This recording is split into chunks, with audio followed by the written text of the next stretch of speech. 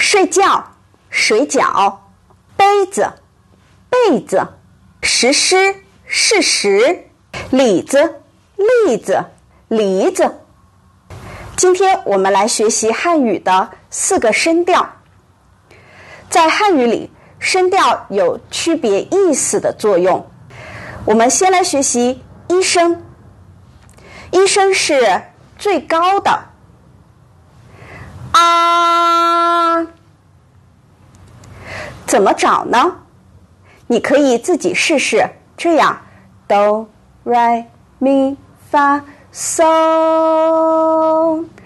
啊。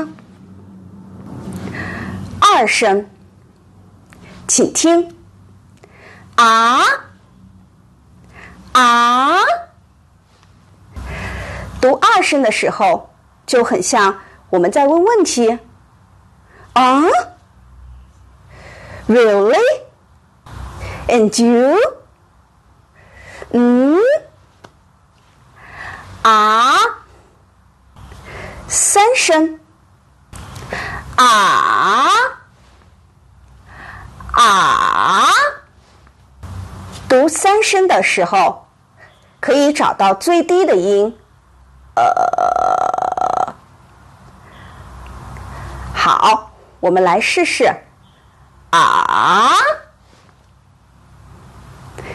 四声，从上到下。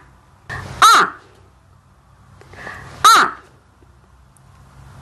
你可以想想，你生气的时候。也会说啊，现在来跟我一起读一下吧。妈妈、